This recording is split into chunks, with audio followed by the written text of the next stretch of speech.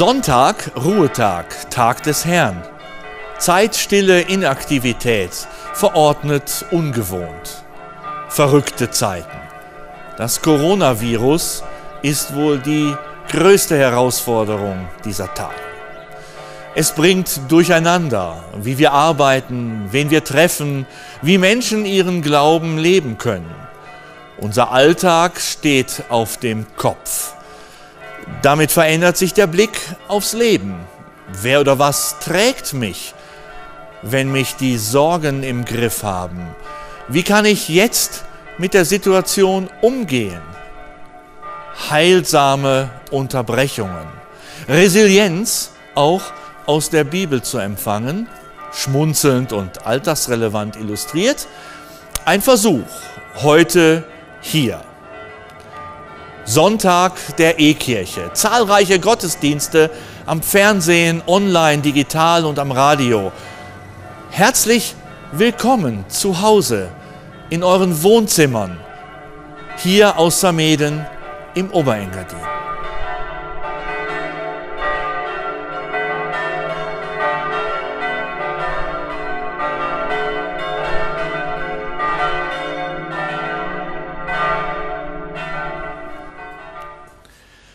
In nom da Diao, dal Bab e dal Fil e dal Spirzonch.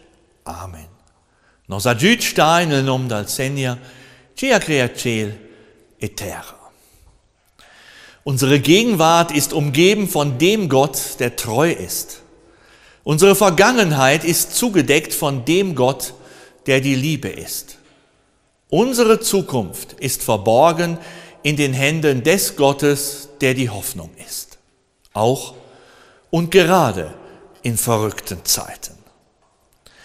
Im Namen dieses Gottes, des Vaters und des Sohnes und des Heiligen Geistes feiern wir Gottesdienst.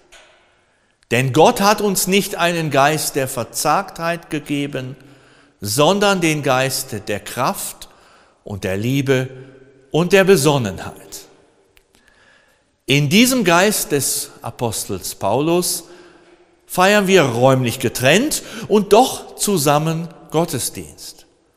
Eure Wohnzimmer und der Kirchenraum unserer Dorfkirche hier in Zameden verschmelzen zu einem weiten Raum, der uns heilsam unterbricht in unserem verrückten Alltag dieser Zeiten, uns auf andere Gedanken bringen und es Licht werden lassen möchte.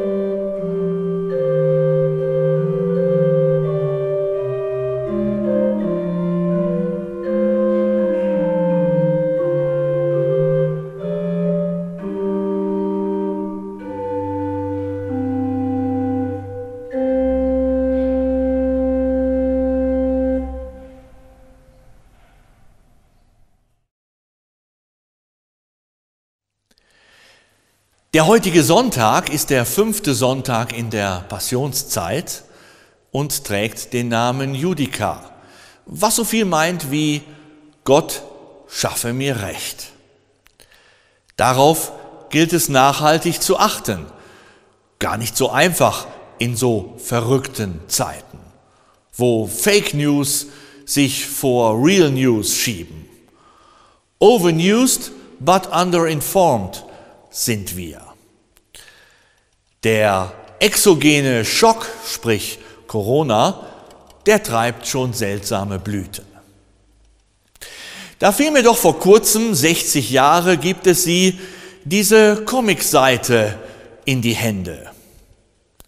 Alberto Uderzo hat gemeinsam mit René Goscinny die weltberühmten Comicfiguren Asterix und Obelix geschaffen, deren Abenteuer in mehr als 100 Sprachen und Dialekte übersetzt worden sind.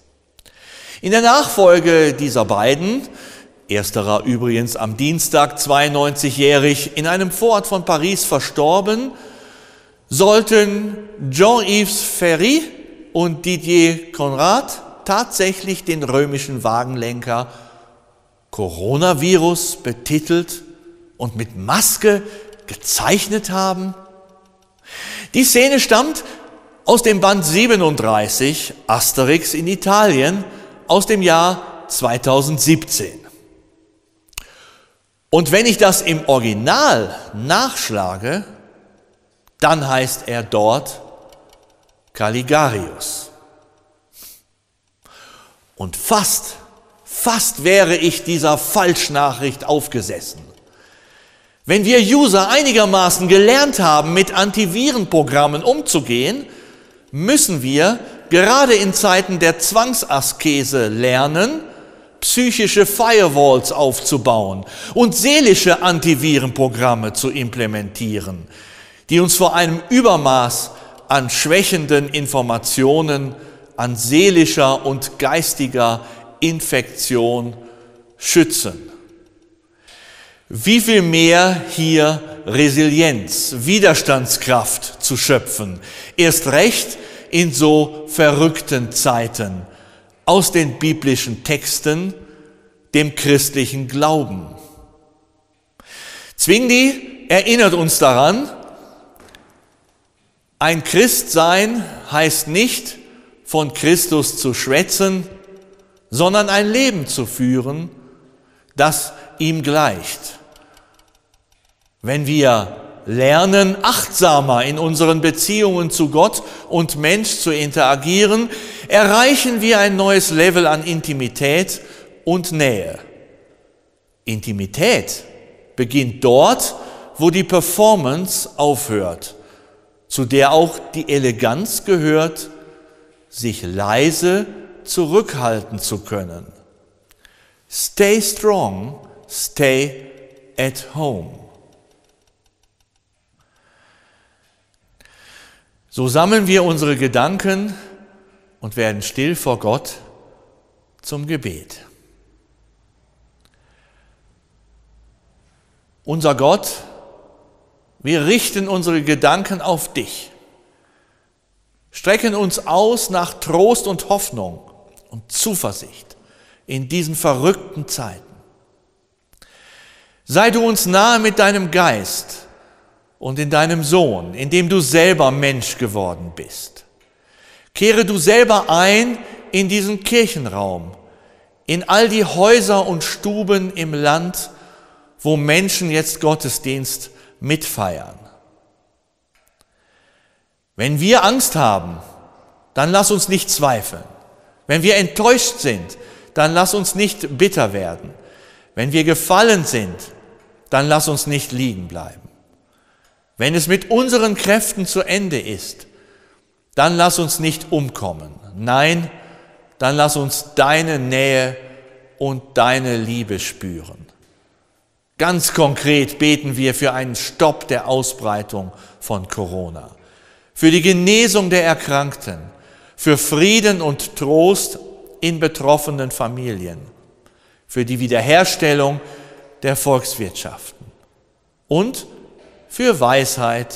für die Regierungen dieser Welt. Amen.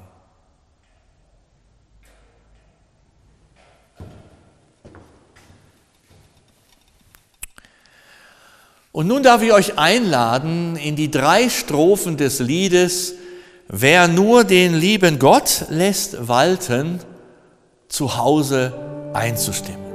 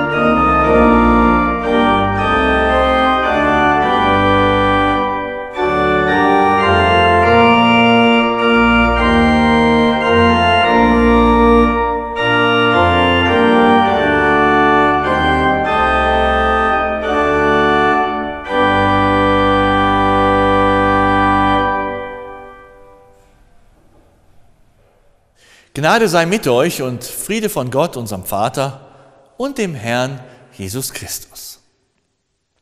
Liebe Gemeinde zu Hause, der Apostel Paulus schreibt uns im Epheserbrief im sechsten Kapitel einen großen Abschnitt, ihr könnt das gerne nachlesen in den Versen 10 bis 20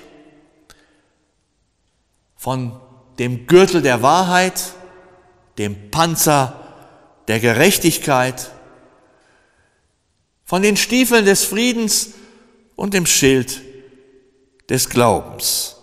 So werden wir ausgerüstet für unser Leben. Wir schwenken zurück ins Jahre 50 vor Christus. Ganz Gallien ist von den Römern besetzt.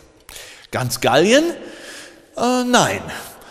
Ein von unbeugsamen Galliern bevölkertes Dorf hört nicht auf, dem Eindringling Widerstand zu leisten. Und das Leben ist nicht leicht für die römischen Legionäre, die als Besatzung in den befestigten Lagern Barbaorum, Aquarium, Laudanum und Kleinbonum liegen. Das kleine Dorf in dem die Freunde Asterix und Obelix leben, das ist sprichwörtlich geworden. Ein kleines gallisches Dorf. Das ist ein kleines Fleckchen Erde, wo die Welt in Ordnung ist. Oder ein Stück im Kosmos, das sich nicht den vorherrschenden Verhältnissen anpasst. In gallischen Dörfern muss man nachts die Türen nicht abschließen, tagsüber auch nicht. In gallischen Dörfern werden Rechnungen noch auf einer mechanischen Schreibmaschine getippt. Und Joggen heißt hier noch Dauerlauf. Bei den Wahlen in die Ämter setzt man auf bewährte Köpfe. Und wer Warzen hat, geht zum Beschnacker oder holt sich Pferdesalbe vom Tierarzt. Aus den Asterix-Heften wissen wir, dass die überschaubare heile Welt im kleinen gallischen Dorf verteidigt werden muss. Nichts liegt den Dorfbewohnern näher, als mit einer herzhaften Schlägerei mit den Legionären die Verhältnisse wieder klarzustellen. Ihr Römer, ihr steht für die hässliche Gleichmacherei, für eine Welt, in der sich ständig etwas ändern soll. Man weiß nur nicht, wozu. Wir, wir Gallier, stehen für Tradition, Solidarität und dafür, dass man sich in seiner Welt gut auskennen muss. In den Geschichten aus dem gallischen Dorf wird viel geprügelt, meistens gefahrlos für die Gallier. Sie kämpfen nämlich mit einer besonderen Kraft. Ohne ihren Zaubertrank, der ihnen eine Zeit lang übernatürliche Kräfte verleiht, wären sie schon längst verloren. So aber können sie ihr kleines Paradies erfolgreich und mit Freude verteidigen. Das kleine gallische Dorf ist ein Sehnsuchtsort. Eigentlich ist es ja rückständig und ein bisschen spießig, die bestehenden Verhältnisse zu verteidigen, statt sich einer neuen Zeit zu öffnen. Es ist eine zutiefst konservative Haltung ein gallischer Dörfler zu sein. Womöglich fängt man an zu behaupten, dass es wichtiger ist, romanisch, deutsch, bilingual zu sein oder französisch oder italienisch oder spanisch äh, als menschlich. Eindringlinge muss man verkloppen oder abschieben so wie Asterix und Obelix? Nein, nein, doch halt. Das kleine gallische Dorf ist als launiges Vorbild für Nationalismus völlig ungeeignet. Denn das gallische Dorf ist gastfrei und weltoffen.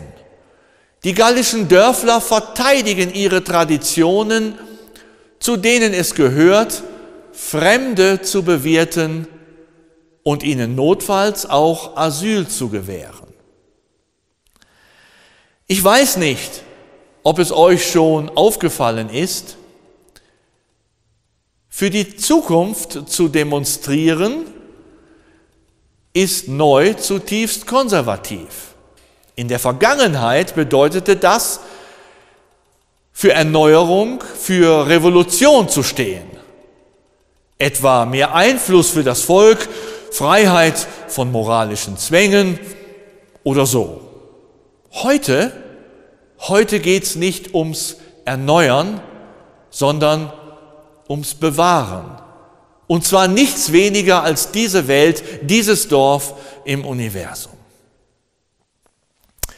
Das kleine gallische Dorf ist ein Sehnsuchtsort. Ich brauche dieses Dorf, dieses kleine Fleckchen irgendwo auf der Welt, wo ich mich auskenne, wo die Rollen klar verteilt sind. Dieser Sehnsuchtsort muss kein Paradies sein, kein idealer Ort, keine perfekte Welt. Eben nur so ein gallisches Dorf. Im gallischen Dorf gibt es faule Fische bei Verleih nix, Krankheitsgeschichten aus der Verwandtschaft vom Schmied Automatix, da gibt es den lüsternen Alten mit der viel jüngeren Gattin, den Gemeindepräsidenten also Häuptling Majestätix, der sich gern von den anderen beraten lässt und dann doch tut, was ihm seine Frau gute Miene sagt. Im gallischen Dorf gibt es viel zu essen und schlechte Musik. Es gibt auch Eifersucht und verschmähte Liebe. Vor allem gibt es Freunde, die begleiten oder trösten oder aufmuntern. Es gibt Solidarität, die wichtiger ist als faule Fische. Dieses Dorf ist ein Arsenal der Kraft. Hier kann ich mich ausrüsten, um es nochmals mit Paulus zu sagen. Gürtel der Wahrheit, Panzer der Gerechtigkeit, Stiefel des Friedens und den Schild des Glaubens. Hier gibt es das alles und die Sicherheit, die ich brauche, um mich in Ruhe mit diesen Stärken auszustatten. Mein gallisches Dorf ist der Pausenhof im Leben. Ich wäre gespannt, wo ihr euer gallisches Dorf habt. Ist es in eurem Freundeskreis oder bei der Verwandtschaft? Ist es hier vielleicht in der Kirchgemeinde oder in der Jassrunde? Oder ist es eine WhatsApp-Gruppe etwa? Vor den Toren des kleinen gallischen Dorfes liegen die befestigten Lager der großen Welt, die wir nicht gut überblicken können. Nun wirken Klein Bonum und Laudanum in den Asterix-Comics nicht ausgesprochen widerwärtig oder grausam. Und ehrlich gesagt sind sie dem gallischen Dorf in vielem nicht unähnlich. Auch hier spielt jeder Legionär seine Rolle, die für ein Gefühl der Sicherheit im Lager sorgt. Lagerkommandanten, die sich fern von Rom einen faulen Lenz machen – dienstbeflissene Beamte und Dienstvergessene, Freunde des guten Essens und Trinkens, aufmerksame Wachen und schläfrige Rekruten. Und doch gehen von hier Offensiven und die Hinterhalte aus, die das gallische Dorf bezwingen sollen. Was wir nicht genau wissen, ahnen wir doch. In den Parlamenten und Ämtern, mit deren Entscheidungen wir zurechtkommen müssen, wird nur mit Wasser gekocht. In den Chefetagen und Callcentern der Konzerne sind mehr oder minder engagierte Legionäre anzutreffen. Und doch lassen sie uns allesamt nicht in Ruhe. Wir geraten mit den Legionären und Legionärinnen aneinander. Eine Dörflerin kämpft um einen zeitnahen Termin beim Augenarzt. Beim nächsten reicht das Geld nicht für die neue Waschmaschine. Obelix, ja, der kämpft mit dem Gewicht und andere ringen mit ihren Entscheidungen für den Klimaschutz oder die Gesundheit. Machen wir auch mal Ferien mit dem Velo statt mit Ryanair oder EasyJet, wenn es denn wieder geht?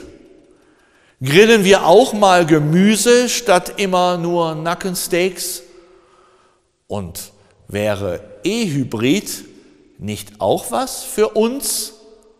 Oder, wenn es geht, sogar ein GEA der SBB? In diesen verrückten Zeiten kann man sich das überlegen für die Zeit nach den verrückten Zeiten. Ein Rückzug ins gallische Dorf, wie immer es auch aussehen mag, schafft Ruhe. Es ist eine Pause, um sich von den Konfrontationen zu erholen und um sich auf die Auseinandersetzungen vorzubereiten.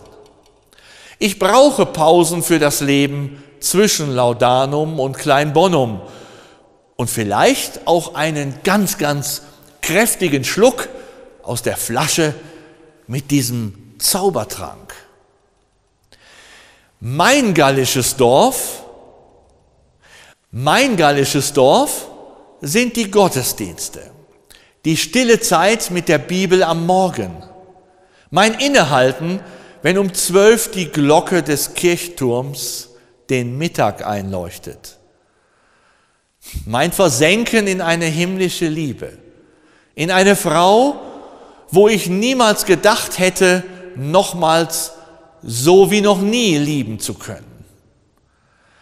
Meinen Schluck aus dem Kessel mit diesem Zaubertrank bekomme ich aus dem Abendmahlskelch, aus dem Einstsein meiner Paarbeziehung, im Meditieren biblischer Texte. In alledem steckt Gott und die Macht seiner Stärke, der gute Pausenhofgeist dieses gallischen Dorfes. Mal mehr und mal weniger spüre ich, hier bin ich richtig. Und hier, hier sind die Richtigen, die anderen, die hier ihren Schluck Zaubertrank nehmen. Ja, ich weiß, die verkaufen auch falsche Fische, machen schlechte Musik und gucken den Frauen in den Ausschnitt. Doch das macht sie nicht aus. Ich bin gern bei diesen ganz normalen Menschen, die ihre Macken haben und auf Gott und die Macht seiner Stärke vertrauen. Und ihr?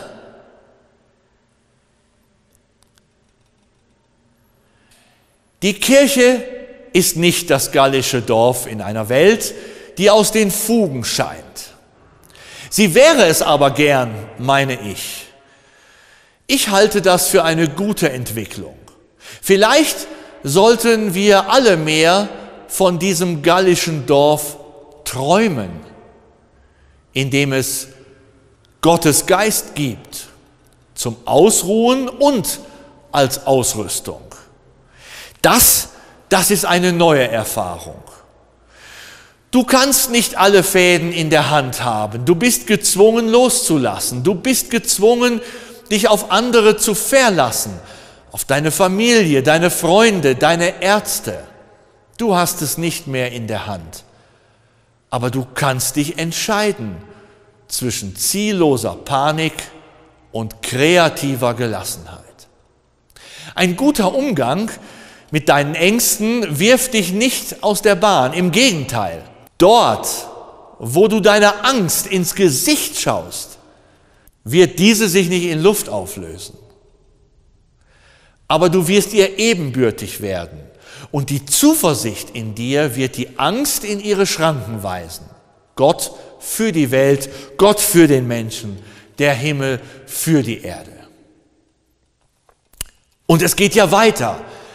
Ich bin so dankbar für alle Möglichkeiten, Verbundenheit zu erleben, auch gerade jetzt, im Netz zu feiern, im Web zu beten, mich auszutauschen, großzügig teilen viele ihre Ideen, Texte und Bilder. Ich nehme gerne daran teil. Gleichzeitig passiert aber noch etwas anderes mit mir. Ich sitze sonst schon so viel vor dem Bildschirm.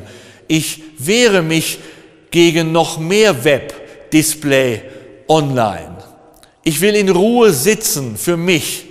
Ich bin dankbar für die vielen Zeichen der Solidarität. Ich brauche sie dringend. Gleichzeitig wünsche ich mir, einfach mal da zu sein. Ohne Antwort, ohne Lösung. Was wird aus meinen Plänen, Terminen, meiner Gesundheit? Wie lange wird diese Krise dauern? Wie wird das sein, wenn öffentliches Leben lange nicht möglich sein wird? Wenn ich meine Lieblingsorte, Lieblingsmenschen nicht besuchen kann. Ich bin dankbar für die Presse Online-Nachrichten, Mediathek, soziale Medien, Meeting-Apps.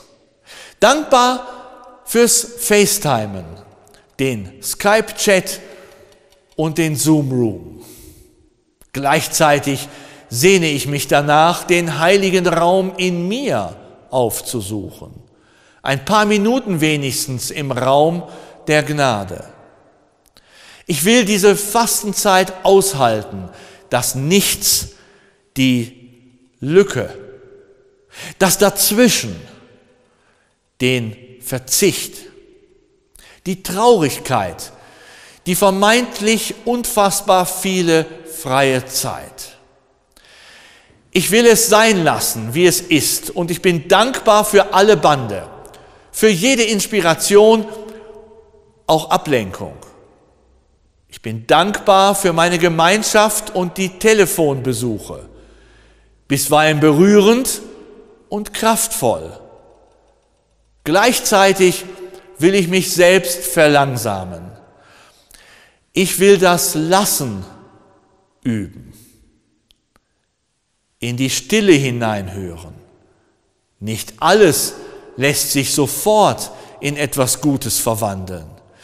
Segen für alle Events im Netz, für Gesang und Applaus von Balkonen und für Kerzen an Fenstern oder hier in unserer Dorfkirche. Für alle Online-Versammlungen jede schöne kleine Nachricht aus dem Natel. Und gleichermaßen Segen für die Stille, den neuen Blick, Segen für alles sein lassen. Gott, Gott ist kein Controller, sondern ein Kreativer. Wenn in der Zukunft die Hoffnung liegt, liegt die Kraft in der Gegenwart. Es ist an der Zeit, aus der Reihe zu treten. Und es ist nicht zuletzt der christliche Glaube, welcher genau dazu ermutigt.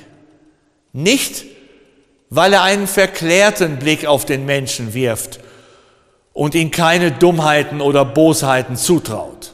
Vielmehr, weil er davon ausgeht, dass der lebendige Gott mitten unter den Menschen gegenwärtig ist und gerade in Krisenzeiten das Gute, Solidarische, Hingebungsvolle in uns zu wecken vermag.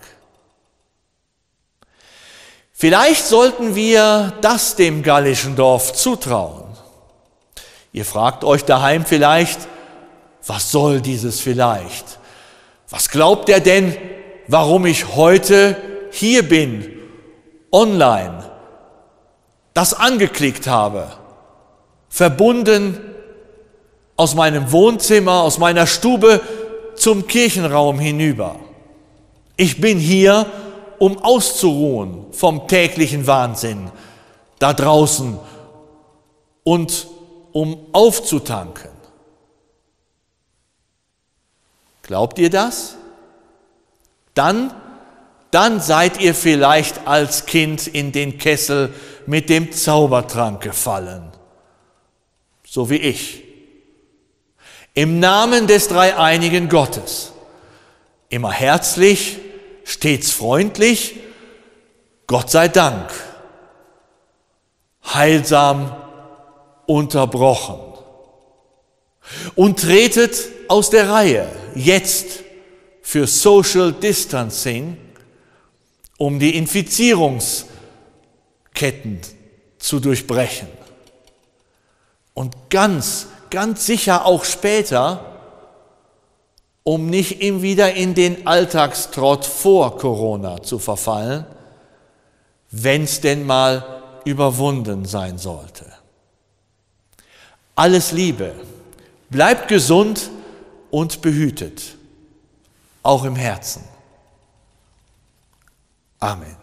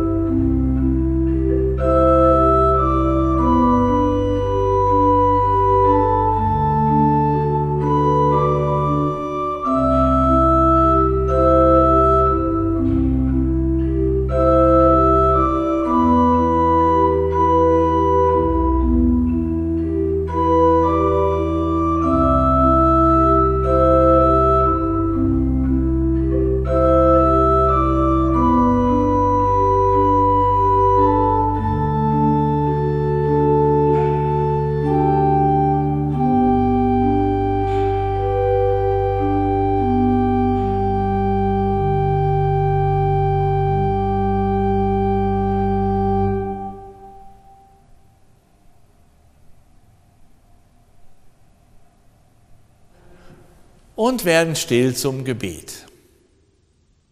Gott, du unser Vater im Himmel, wir gehören als Land zusammen und dazu gehören alle Menschen. Jeder hat gerade seinen Beitrag zu leisten, auch wenn es tatsächlich für uns alle deftige Einschnitte bedeutet. Lass uns alles geben, nur nicht auf. Lass uns die Zeit für uns und unsere Familien nutzen. Lass uns mal für ein paar Wochen selbst beweisen, dass wir tatsächlich mehr können, als nur auf unseren Nattels zu daddeln, gegen etwas zu sein und alles blöd zu finden. Lass uns gerade jetzt eine große Chance haben, um zu zeigen, für was wir sind, für Menschen, so wie du. Lass uns für andere einkaufen gehen, spielen mit unseren Kindern, uns gegenseitig ermutigen, zusammenhalten. Das ist gerade die große Aufgabe, zu der wir deine Kraft und Ermutigung täglich neu brauchen und bei der auch ich versuche, mich darin einzuüben. Allen Erkrankten, allen Ängstlichen, allen Hamsterkäufern, allen, die jetzt mehr Klopapier haben als andere, allen Ärzten und Krankenschwestern, allen Eltern, deren Kinder nun zu Hause sind, allen Freiberuflern, allen Unternehmern, allen Politikern, allen Entscheidungsträgern, allen neunmal Klugen, allen Helfern, allen Künstlern ohne Konzerte, allen Angstpost-Hatern, allen Unvorsichtigen, allen Nicht-Händewaschern, allen Virologen und Medikamentenerfindern und sogar allen Fake News-Verbreitern gilt jetzt unser Gebet. Lass durchhalten, Gott, und hilf uns, wirklich alles zu geben, nur nicht auf. So beten wir weiter zu dir, Gott, im Namen unseres Herrn Jesus Christus, auf dessen Geheiß wir dich nun gemeinsam anrufen, unser Vater im Himmel, geheiligt werde dein Name, dein Reich komme, dein Wille geschehe wie im Himmel, so auf Erden. Unser tägliches Brot gib uns heute und vergib uns unsere Schuld, wie auch wir vergeben unseren Schuldigern. Und führe uns nicht in Versuchung, sondern erlöse uns von dem Bösen. Denn dein ist das Reich und die Kraft und die Herrlichkeit in Ewigkeit. Amen. Nun darf ich euch einladen, in die drei Strophen eines des wohl bekanntesten Passionsliedes zu Hause einzustimmen. O Haupt voll Blut und Wunden.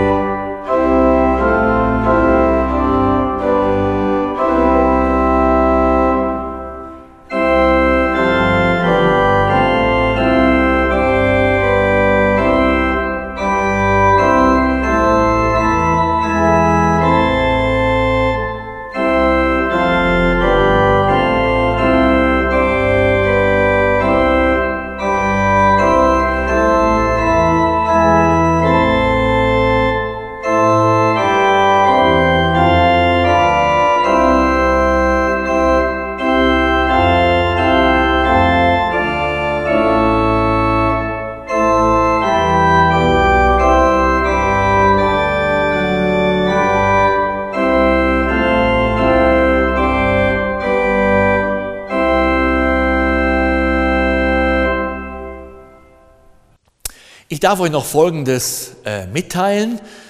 Wir helfen und unterstützen als evangelisch reformierte Kirchgemeinde Oberengadin zusammen mit Prosenektute.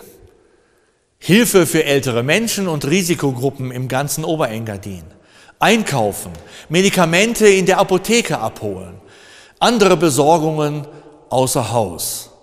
Die Nachbarschaftseinsätze werden unter der Hotline koordiniert, die eingeblendet worden ist. Macht gerne Gebrauch davon. Wer eine Kollekte zugunsten von Mission 21 in Basel einzahlen möchte, der kann das mit unten durchlaufender Bankverbindung tun. Gott segne Geber und Gaben. Der heutige Predigtext im Ganzen ist im Übrigen im Epheserbrief des Paulus im sechsten Kapitel in den Versen 10 bis 20 nachlesbar. Nächsten Sonntag kommt unser Gottesdienst aus Zuotz, dann mit Pfarrerin Korinditis. Auch dazu schon jetzt herzliche Einladung. Mein Dank gilt heute vor und hinter den Kulissen Jürg Stocker an der Orgel und Anatina Manatschal für ihren Siegrichtendienst. St. Moritz TV fürs Aufnehmen und Ausstrahlen im Fernsehen. Man kann auf der Webseite unserer evangelisch reformierten Kirchgemeinde Oberengadin unter www.reformo.ch diesen Gottesdienst übrigens ebenso anschauen wie im Facebook.